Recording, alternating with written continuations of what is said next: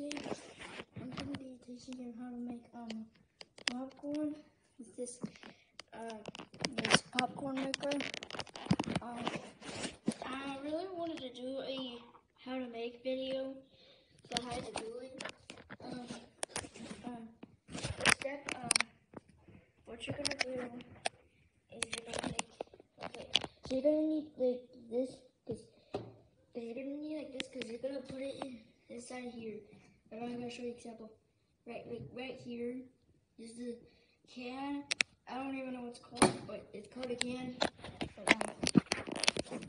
And um, once you do that, you're gonna um, you're- gonna you're gonna like get this one and just scoop it, and you're just gonna get gonna get this, and you're gonna scoop it all up into the into that thing in- into that thing.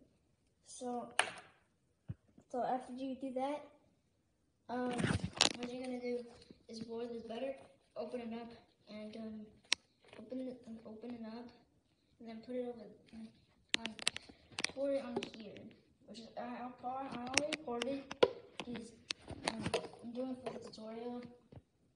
So so after you um, no wait, after you, like, okay, so you need to put this, okay, so you need to put the oil inside here, and then, and you're gonna, like, pour it into the kernels, and then you're gonna open this up, and then you're just gonna, like, pour it into there, there you go.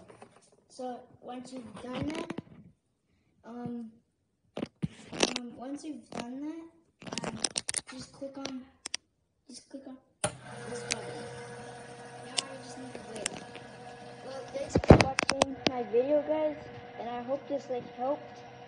And um, I'll see you guys later.